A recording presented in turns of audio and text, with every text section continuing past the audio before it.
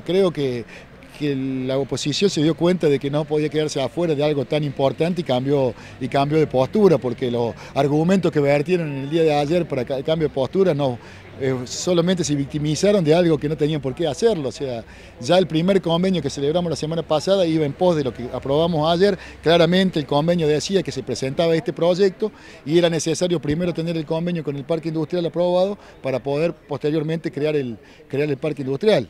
O sea, bueno, por un lado celebramos y festejamos que la oposición haya recapacitado y se haya dado cuenta de que el crecimiento de la ciudad no se puede detener.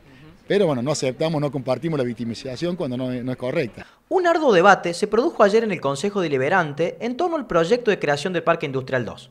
La oposición había rechazado la semana pasada una ratificación de convenio entre Acabío y el municipio por considerar que no había tenido tiempo suficiente para estudiarlo, ya que el proyecto fue enviado apenas unas horas antes de la sesión lo que le generó duras críticas de a Castelo, quien los acusó de no acompañar el progreso de la ciudad. Que siga con tiempo, no sé con tiempo, las cosas trascendentales por la ciudad, la, primera reacción de la oposición o de estos bloques es no aprobarlo. Eh, esa, es la realidad que vivimos y que vemos permanentemente en el Consejo. Acá creo que ellos se dieron cuenta que el festejo de la ciudad fue sumamente importante, donde todas las instituciones participaron, solamente ellos no participaron y se dieron cuenta de que no pueden ir en contrapié de lo que piensa el resto de la ciudadanía.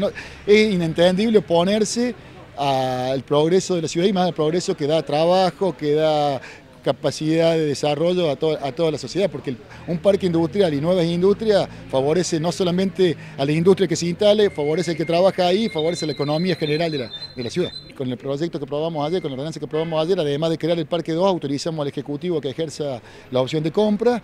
En los próximos días el Ejecutivo estará haciendo la opción, eh, uso de la opción de compra. El Parque Industrial, la Sociedad de Economía Mixta, va a aportar los fondos y una vez que se haga la adquisición y se tome la posesión, empezarán los trabajos a través de la Sociedad de Economía Mixta para darle desarrollo a este parque 2.